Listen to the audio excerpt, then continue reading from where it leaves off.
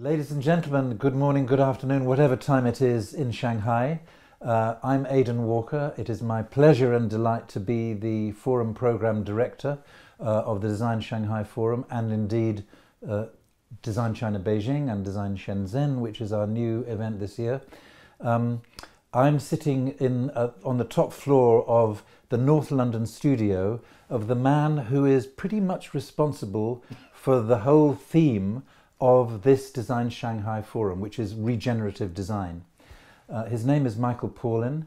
He's a biomimetic architect, uh, although the more and more I've uh, learned to uh, have become to understand about Michael's work, the more I see that just an architect is really a very small word to describe a very innovative and important thinker in visual and in constructional culture, let's call it, the way we build things and the way we think about building things.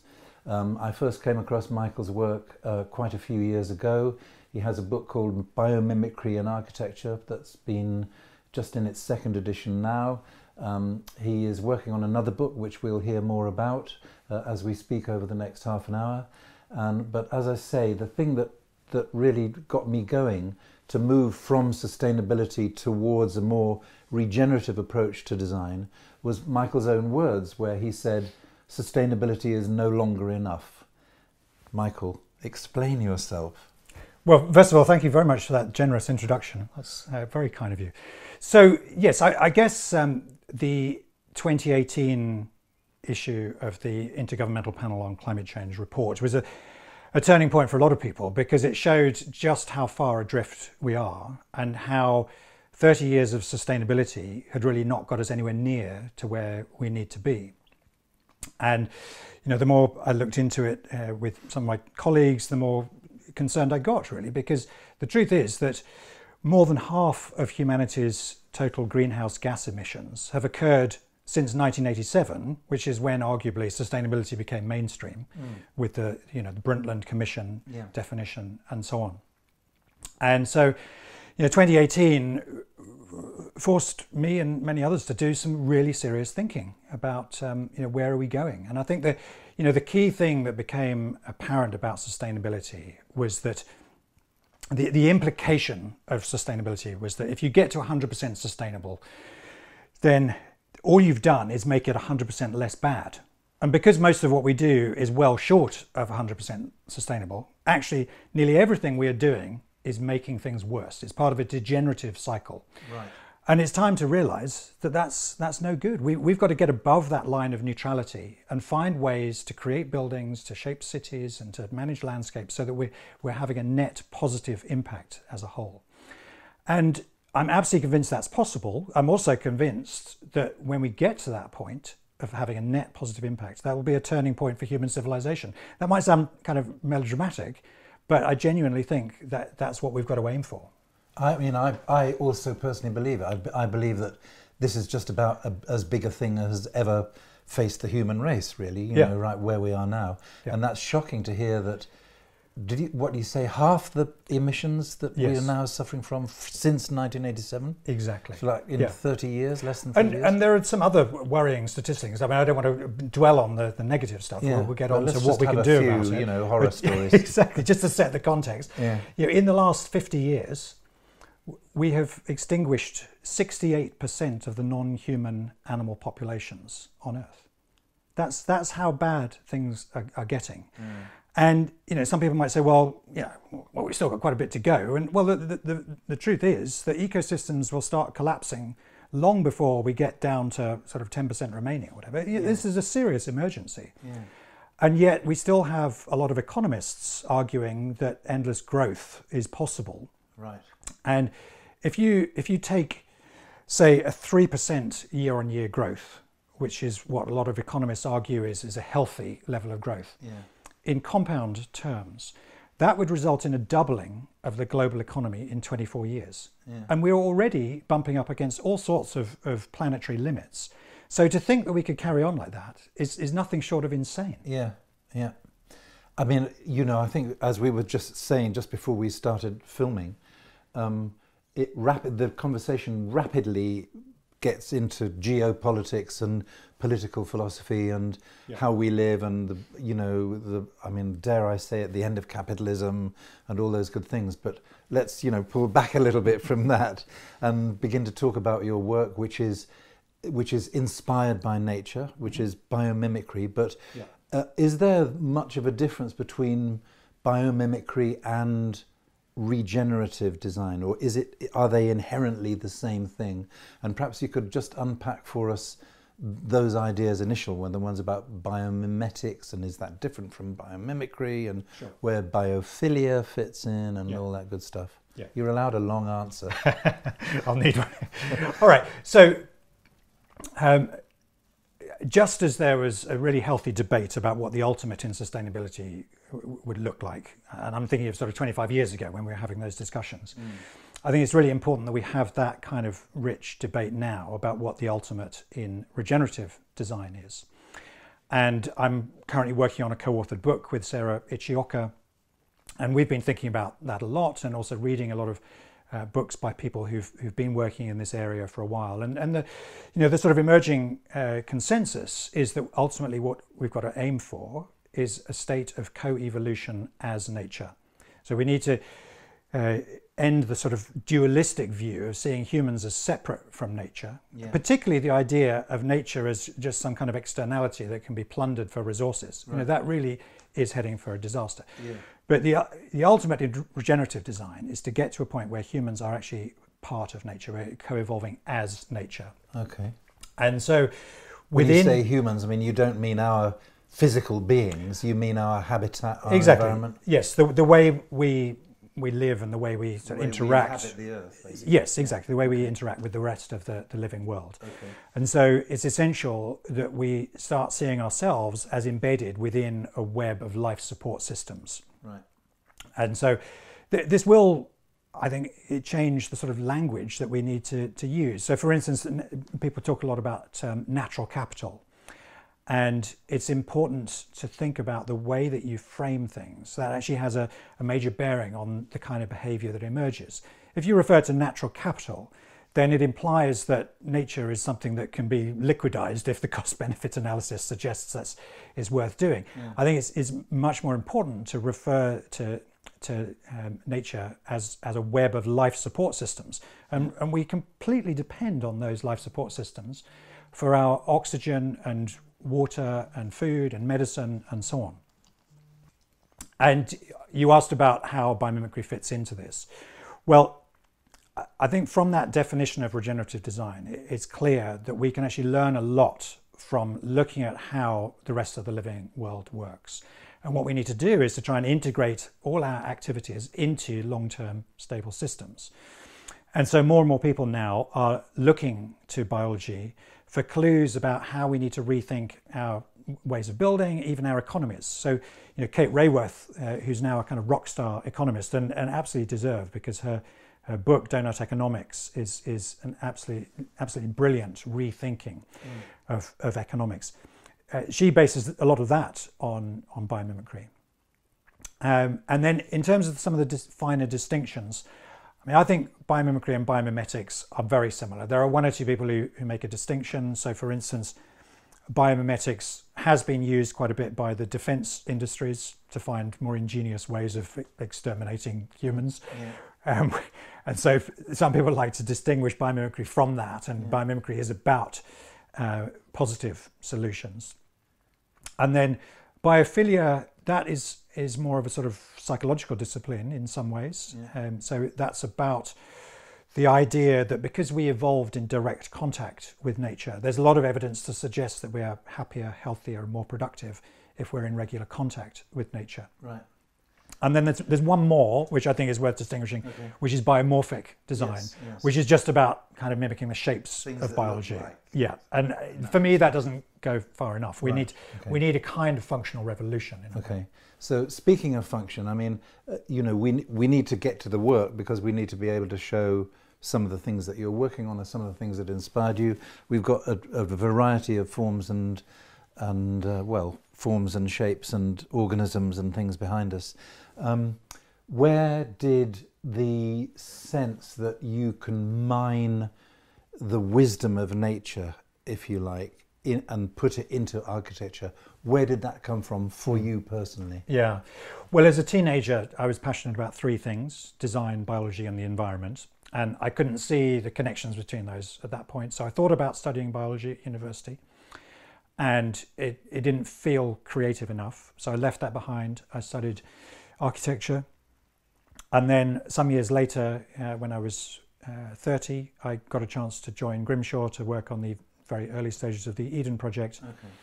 And I guess most architecture students of my generation had done a bit of, of biomimicry at college, but it tended to be a very limited number of examples, you know, spiders, webs, and termite mounds. That yeah. about as far as it went. Yeah.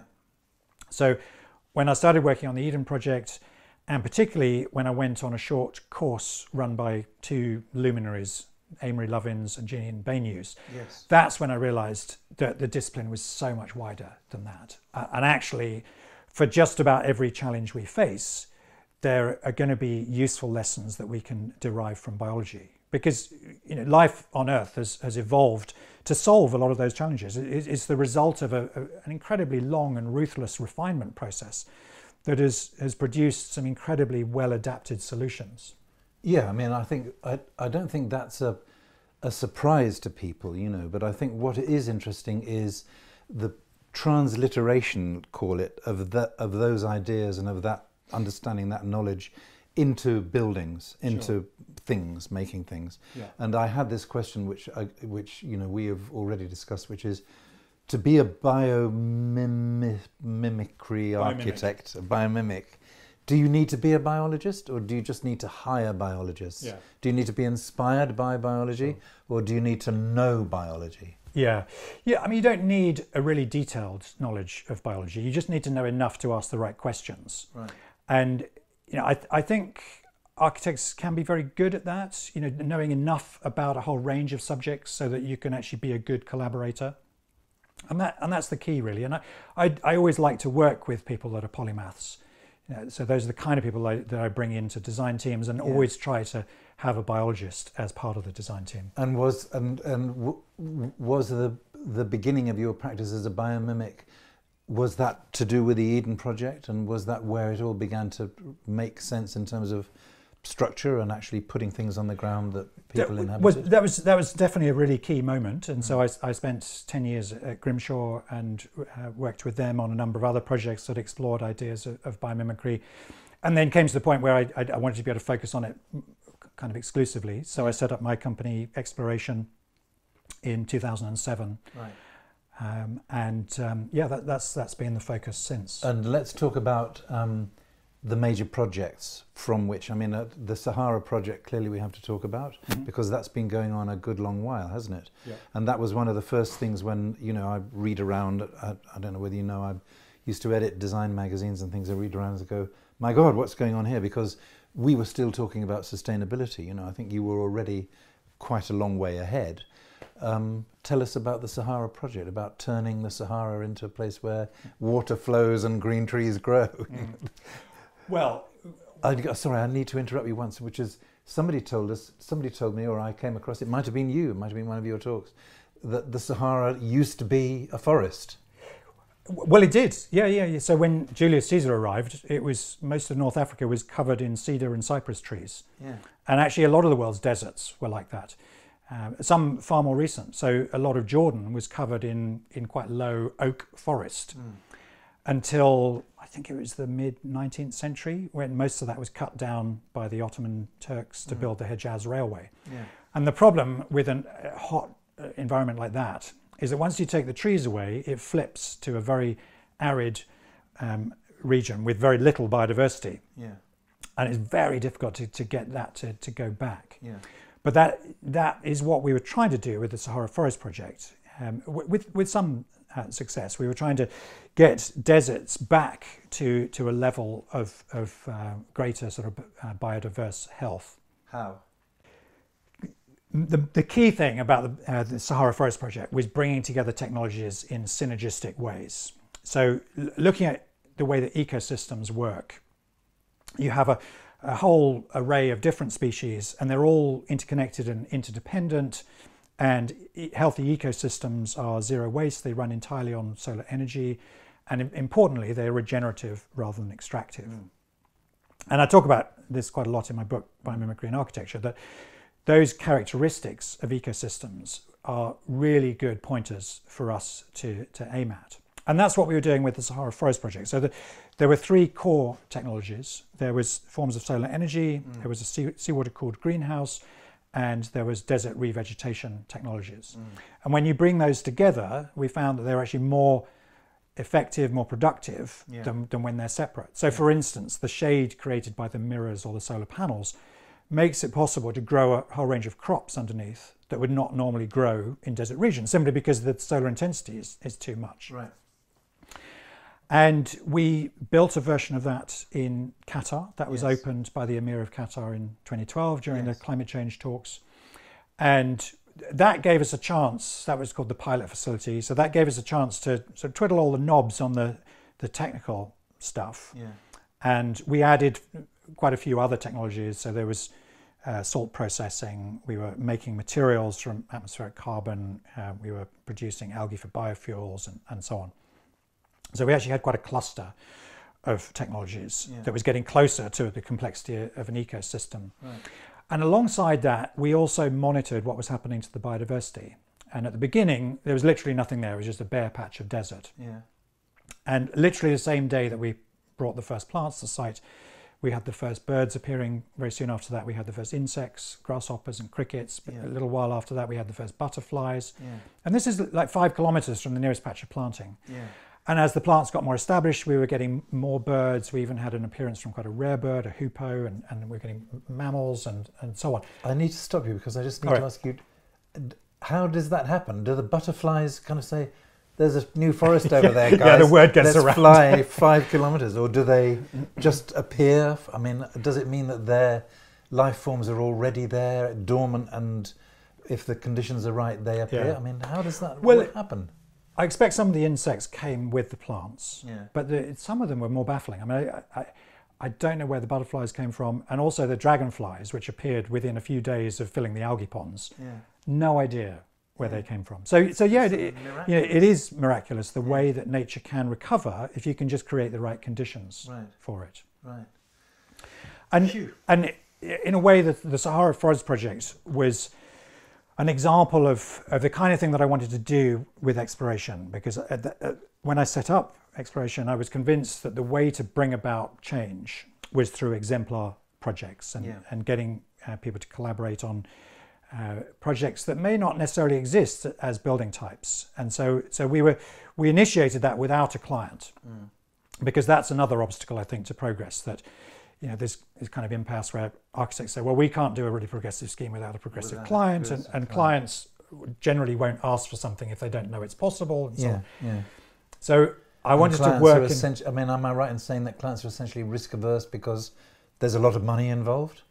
Yeah, yeah, I think that's that's a fair assessment. Yeah. Yes. Because I do have a question here, which is about about clients. About you know, uh, again, I think I'm throwing my own word, your own words back at you, but to say you have to give the clients what they don't know they want. There, there's a slightly adapted version of something that Denys Lasdun said, which which is, is, I think, as an architect, your responsibility or your duty is not to give the client what they think they want. It is to give the client what they never dreamed would be possible. which is lovely. Yeah. But I mean, can you find clients like that? You know, because clearly you you can't build. For instance, we're going to be talking about the office building, which which you've designed, but which you're looking for a client. Do you do you already have clients who who believe what you believe and who believe as passionately what what you believe passionately, Yeah. and who will put their money behind the kind of project that you want to build? Sure. Do you sure. have such people? Well, there aren't many, and, and I, I knew that when I set up. Mm. So, what, one of the things that uh, I've kind of forced myself to get better at is public speaking. And that has given me an opportunity to speak at all sorts of events where people are going to find new ideas, and, and it tends to sort of draw the, the most progressive clients. And, and that was the way I met the client for the biomimetic office. Uh, so, he's a guy called Dr. Ralph Belm, uh, a real polymath, very progressive, and he, he had just finished uh, a green office building that had reached LEED Platinum. and he, he became really uh, kind of I wouldn't say the word obsessed, but uh, fascinated by biomimicry uh, after one of my talks, and and he said, you know, "Why don't you have a think and just make a proposal for how we could work together?" Okay. Which is a really nice sort of open brief yes. from a client. Yeah. And so I said, "Well, look, why don't we work together to use biomimicry to completely rethink office design? Yeah. Because I just have a hunch that we can go well beyond." The scheme that you've just done that got LEED platinum. Yeah. And so tell us about the office of which we speak. Yeah, sure. So, so he said, uh, great, go ahead. Uh, I put together a proposal. I got together some of my kind of favorite collaborators, some of the best materials people and engineers and mm. biologists and, and so on. And thought very carefully about the, the right kind of collaborative process to get to get the best out of that because I think there has been a tendency for the sort of so-called iconic architects to think that what they need to do is to do a sexy sketch on the back of an envelope and then expect the rest of the team to make make it happen. Yeah. And I actually think that's verging on insulting, particularly if you've gone to the point of selecting a really brilliant polymathic team. Mm.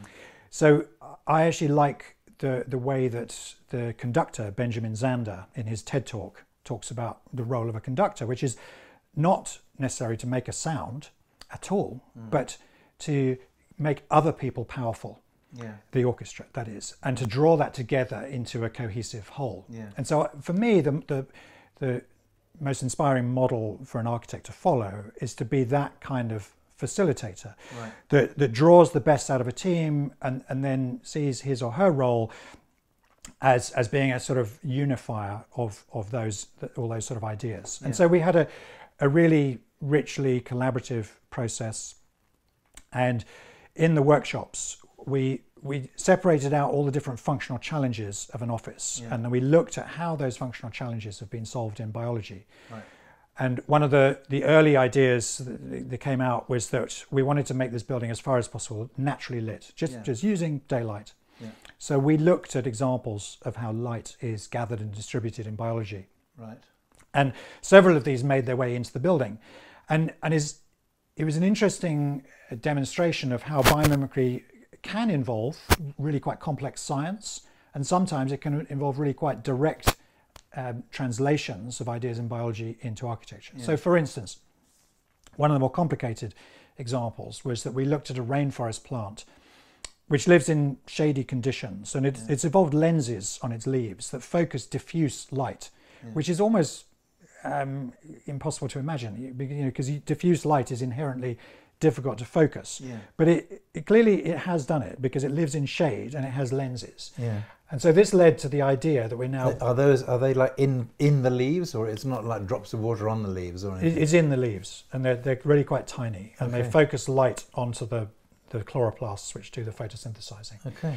The, so this led to the idea of harvesting light on the roof and focusing that into fiber optic tubes yeah. so that we can conduct it around the building to where we want it. Yeah. And we're now working on that idea. So you so you get the whole building naturally lit. That yes. Without yes. use of uh, yeah. the, of energy at all. Yeah. Without even needing the sun to shine. Yes. And uh, that I mean that there is some complex science to that um, that that re- requires some some fathoming. But another more straightforward example is that our biologist, his name is Julian Vincent, he, he pointed us to a fish called a spookfish. Yeah. Some of them have really entertaining names. Yeah. There's another one I could tell you about called the elephant nose fish, yeah. which is a, a, real star. We but anyway, have a picture of the elephant nose fish. Yeah. so the spookfish has what's called diverticular eyes that, that point up and down, and the bits that point down have have lenses. Sorry, not lenses. Uh, concave mirrors. Which focus very low levels of light coming up from the ocean, bioluminescence essentially, right. essentially um, onto the, the retina. Yeah. And that gave us the idea of incorporating these two really large mirrors in the atrium, reflective surfaces that would bounce light into the lower parts of the building. Yeah. Because that's what we found when we analysed the light levels. It was reasonably easy to get enough light on the top. Yeah. The challenge was how do we get the light further down? But you have to have what you're saying. If you're using the spookfish, you have to have the light coming up from underneath anyway to, to pick uh, up the Not not quite. We we just we, we literally just took the idea of a, a concave surface which mm. can focus light, and so actually we were we were getting the light coming down from the atrium roof, and then these curved surfaces bounce the light into the lower parts of the office. Right. So uh, w- as you speak, I'm thinking about zero carbon. You know, the whole idea of the zero carbon office, which I think, if I've co- correctly understood you, where is sort of a, an old idea because all it means is that we're not consuming energy.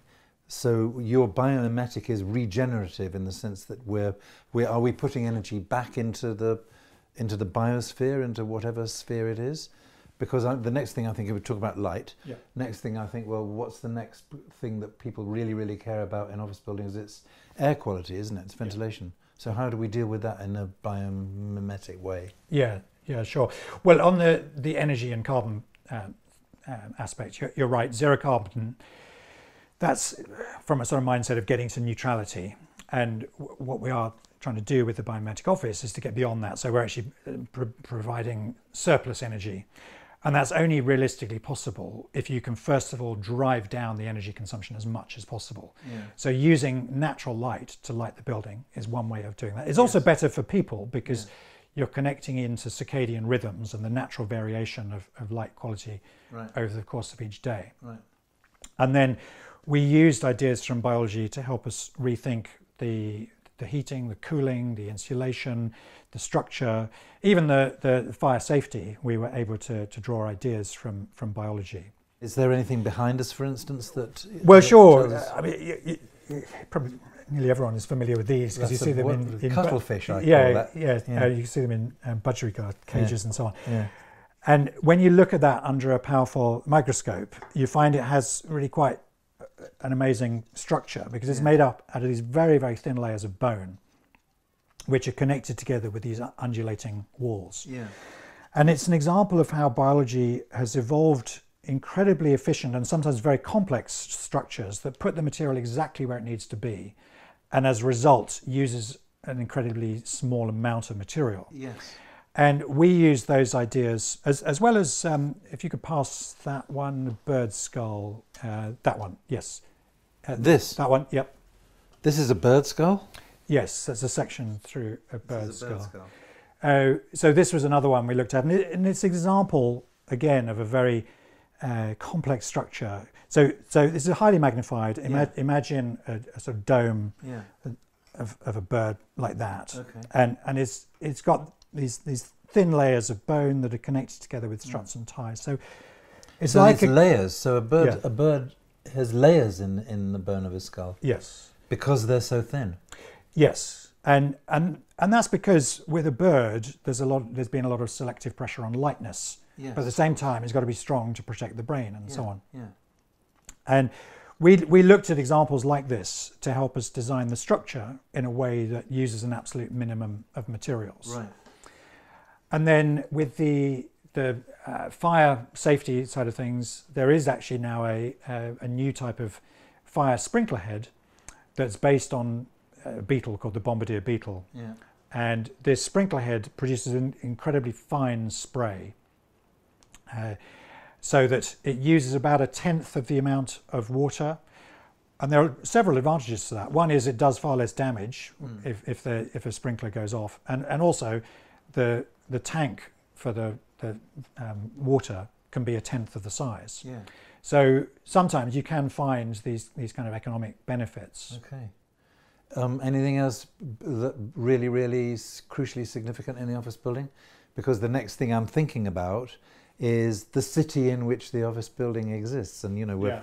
We've got to talk about infrastructure there as well. But Well- before we go there, is there? Yeah, sure. I mean, the, the other one that we were all proud of as a team was the glazing system Yeah. that we came up with uh, that would achieve about a 50% saving in glass and about a 75% saving in aluminium. Right. And that was based on very simple ideas. You know, it's literally taking a thin material and, and curving it slightly Yeah. so that it's strong enough to span to span floor to floor without framing. Okay.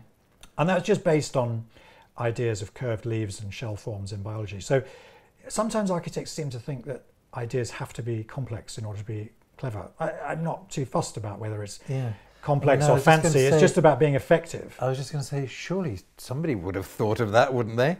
Make it, but I mean, maybe the technology, because this is another thing that interests me is that, you know, your conversation is shot through with ideas about technology, which conceptually, you know, is different from biology, isn't Yes. it? Well, but the- there is is there there's such a thing as biological technology or technological biology or something. I mean, curving a curving a sheet of glass, we all know that makes it stronger. Pretty much everybody does. Yeah. I certainly do. Yeah. Therefore, it can be thinner. Therefore, it's lighter. Therefore, it uses less material. Yeah. So why isn't even that thinking standard? You know, Yeah. in in op- well, particularly office design. Yeah. Does it mean is it because everybody thinks in straight lines? Well, that it, that one it hasn't been done much before because it, it was a fairly new type of glass. But even so, it's a while now since we've done it, and, and we have tried to launch that as a product with various glass manufacturers and get it into other schemes and so on. And we haven't quite got there yet, and that can be frustrating uh, because you know the construction industry is incredibly risk averse. Yes. You know, sometimes I think people look at buildings that are quite flashy and think, well, that's incredibly innovative. And Yeah. actually, no, you know, It's not. Yeah. architecture is not very innovative at the moment compared to other fields. Yeah, yeah. So, okay, compared to infrastructure design, for instance, because you know where I'm leading. Um, I'm not sure I do. leading to the dog vomit Oh, right, slime okay. mold, Yeah, yeah, yeah. yeah. which came up in one of your talks about. I mean, this is in, this is infrastructure design, isn't it? It's transport networks actually. So, assuming that we are all using cars, regenerative cars like Thomas Heatherwick has recently been designing, um, or not even that, we're, we're all on public transport of some kind.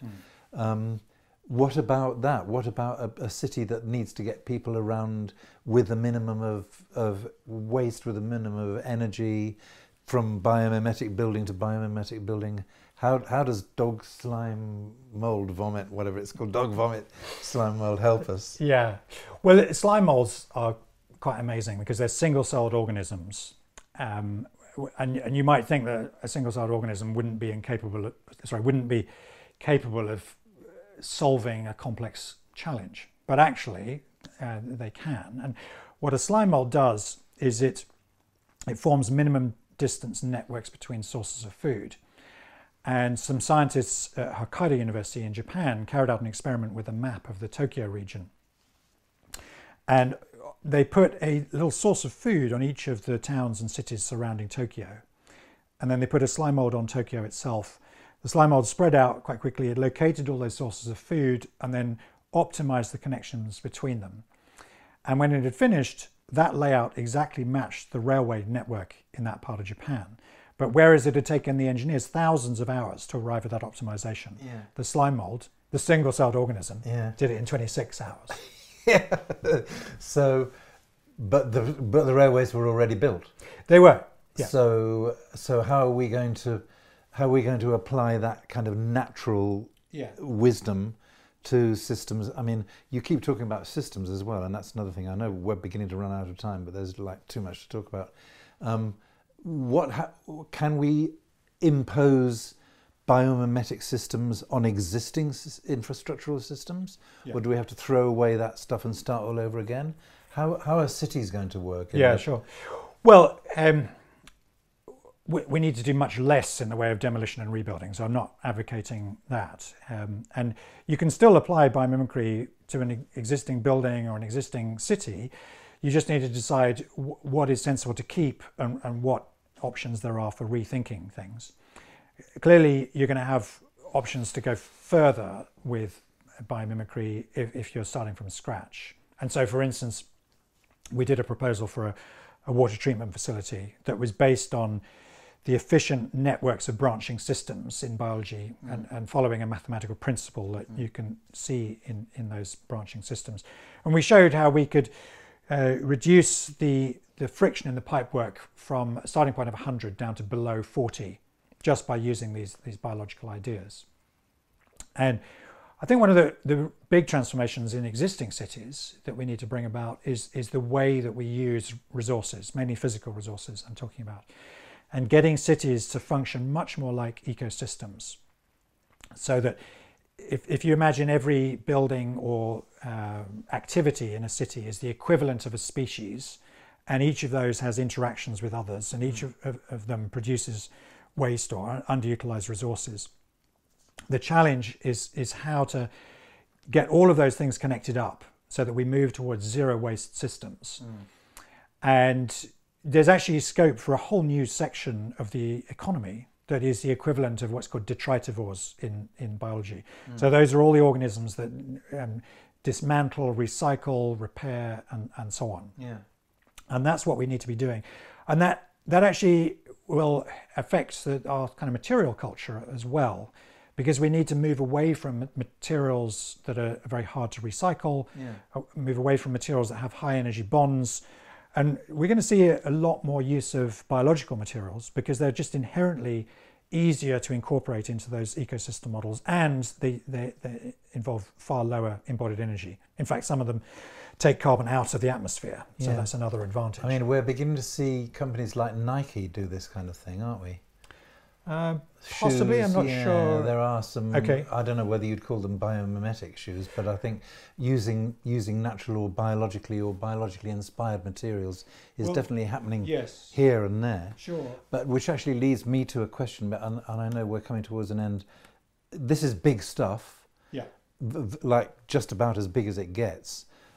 Where is where does the hope lie? Yeah. In terms of the of the the governments, the people, the companies, the corporations that are um, that are essentially committed to the old way of living, the old yes. industrial age thinking of you know in continuous growth and so forth, which everybody knows at one level anyway that that makes perfect sense that it isn't it isn't sustainable. Yes. How do we make people think? Yes. Sure in the way that we need to think? Yeah, yeah. yeah. Well, it's a it's a good question and a very important one. And we were talking a few minutes ago about exemplar projects and how when I set up exploration, I thought that was the way to bring about change. Yeah. The 2018 IPCC report made me completely rethink that. Yeah. And actually, we're not going to get anywhere near to solving the planetary crisis just by producing exemplar projects. We, we actually need to be much more ambitious than that and mm. talk about paradigm shifts. And what I mean by a paradigm is a kind of widely held, uh, widely shared idea yeah. that, that determines to a large extent how society operates. Yeah. So, for instance, a paradigm of endless growth, we need to rethink that. The idea that nature exists as something to be plundered, we need to re- rethink that. Yeah. And that's what the, the book that I'm working on with Sarah Ichioka is about. So, it's not about technological change so much, it's actually about changing the way we're heading and the mindsets that, that determine that. And that was inspired by uh, someone called Donella Meadows. So she was a systems thinker. And that was also the inspiration behind Architects Declare, which I jointly initiated with mm. Steve Tompkins. Yeah. And in the, the first chats we had in the pub in late October 2018, we were talking about Donella Meadows and, and how to change paradigms. And we realized that actually what we have to do is to, to get um, a really broad coalition of architects and the construction industry as a whole to, to work together to try and shift these paradigms and to use that collective momentum to change the system at a higher level, to change the, the kind of rules of the game, to change policies and to change companies. And we, we really do need to, to bring about fundamental change along the lines of changing the way companies operate so at the moment, company law uh, includes what's called share, shareholder primacy. You have a, an obligation to to satisfy your shareholders and yeah. to provide them with increased profits and mm. so on. That's a disaster. Yeah. It really, it, that is a disaster. That yeah. will head to collapse of our civilizations without exaggeration. We need to do what the B Corp m- movement is doing and have a duty for companies to, to reflect a, a, a much broader set of stakeholders. B Corp. Yes, yeah, a B corporation. It, it's a it's a movement. Um, it, it, and involves a certain certification process, and you have to be much clearer about what your deep purpose is, right. and you have to demonstrate that you're being responsible to a, a much wider group of stakeholders. And by stakeholder, what I mean, and this is another thing that comes from the book with Sarah, is is the idea that we need to rethink our role as, as humans and as designers. And, yeah. and uh, in, in our book, we're arguing that our new role, our new purpose, should be to support the flourishing of all life for all time. which sounds like a very good place to finish because I know we've got to finish. I, I know you're an optimist, and I know that you I'm not. believe. Oh, aren't you? No, that's one of the chapters in our book. Actually. So we challenge the idea of optimism and pessimism right. because both of those imply a sense of inevitability about the future, and you either feel positive or negative. Yeah. No, what you need to be is a possibilist. Okay. And that's what Hans Rosling talked about. You know, the idea that you need to decide on the future you want and then you need to set about creating it. And that means massively increasing our collective agency, our capacity to bring about change. yeah. But it's possibilism, Possibilism. and but I mean, uh, am I allowed hope even? Because Yeah, yeah, yeah, you know, the more you think about, we've got to do this, we've got to do that, we've got to do the other, and I'm thinking about the the great corporations. I'm thinking about the four years that the United States has just gone under Donald Trump's presidency. You know, which everything's going backwards. I, you know, I we need hope. I need hope. Yes. and I need you to give me that in the next five seconds.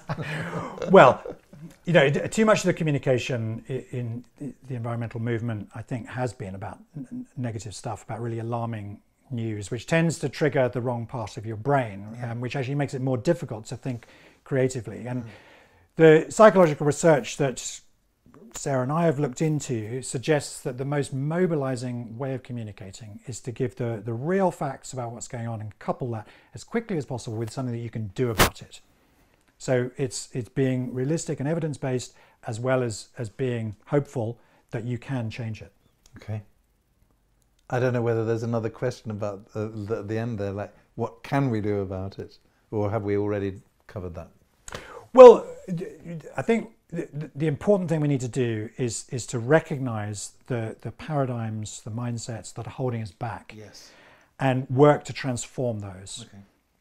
And the key thing is to bring about a, a tipping point. So if you look at major social changes in history, often you find that there's a, a very, very slow pace of change and it looks like nothing's happening. And then all of a sudden it gets to a point where it, it ch- changes dramatically to Yeah. a new normal. Yeah. And so Polly Higgins, the, the late um, Polly Higgins environmental lawyer, she talked about visiting a friend in Berlin like six months before the wall came down and saying to her friend's dad, you know, do you think the, the wall will ever come down? No, no, no, that'll, ne- that'll never happen in, Yeah. in our lifetime. She revisited like three months after the wall had come down and the, the same friend's dad said, oh, it was always going to happen. Yeah. And what had happened there was the tipping point. You know, Yeah. what had seemed impossible became, Became ine- inevitable. Okay. And so we we need to, to work to bring about a kind of tipping point so that what what what we see at the moment as the sort of seeds of hope for the future become quite rapidly the new normal so that we can shift from sustainable to regenerative we can shift from a mechanistic mindset to a systemic mindset from an extractive way of doing things to a way of doing things that actually repairs ecosystems and uh, reconnects communities and takes carbon out of the atmosphere and locks it up in buildings and a, a whole range of other positive things I, i'm absolutely convinced that is possible It's possible.